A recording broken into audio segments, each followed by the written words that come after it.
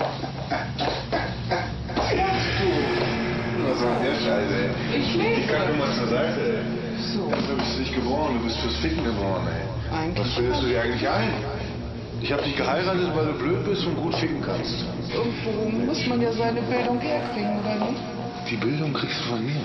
Verstehst du? wenn du richtig ordentlich gefickt wirst.